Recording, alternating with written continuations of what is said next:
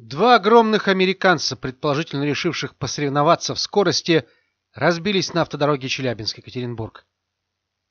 Американцами на российских дорогах называют капотные тягачи американского производства, преимущественно используемые для перевозки на дальние расстояния. Зрители ТАО, оказавшиеся на месте происшествия буквально через 30 секунд после случившегося, поделились с нами видео. Нет, там что-то вообще жизнь какая-то. Ё-моё. Так а нафиг надо? Ты чё, мы же там не проедем же. Мы сейчас колеса порвем тут. А что делать? Блин. Что предлагаешь? А, Так они вот только что навернулись. какой-то.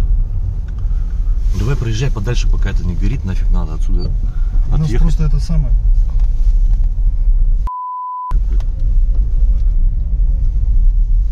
Соляра разлилась. Блин, эти еще поставили машину тут.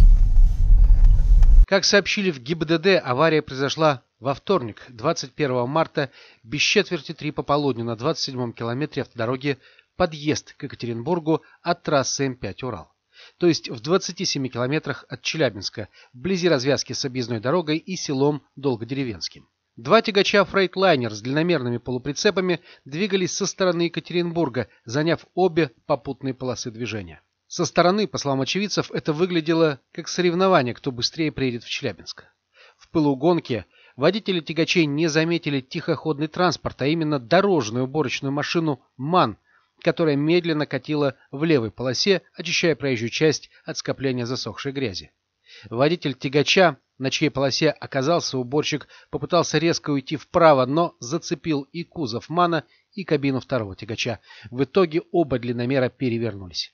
Третьим участником аварии стал красный Деу Ланос, водитель которого двигался за фурами, а когда те столкнулись и стали переворачиваться, поднимая над дорогой облако пыли, вынужден был резко уйти в кювет, чтобы не влететь в груду металла. На место аварии вызывались две кареты скорой помощи, однако по предварительным данным госавтоинспекции помощь дальнобойщикам была оказана на месте. От госпитализации оба они отказались. Произошедшая авария значительно усложнила проезд другого транспорта в сторону Челябинска. Ребят, что на Челябинск случилось? Дорожная, дорожная. Какой проходной? Правый.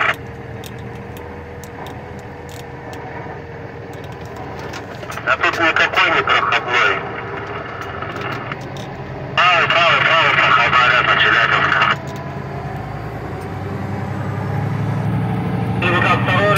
ответил. Да все едут, едут тихонечко, проезжают.